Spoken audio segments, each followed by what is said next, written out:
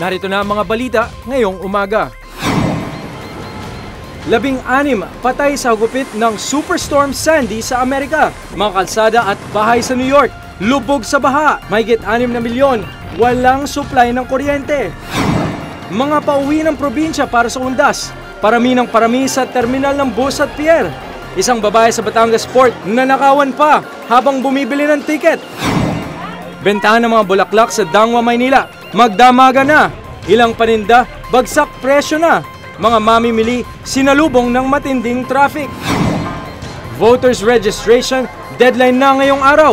Mga humahabol para magparehistro, siksikan kahapon.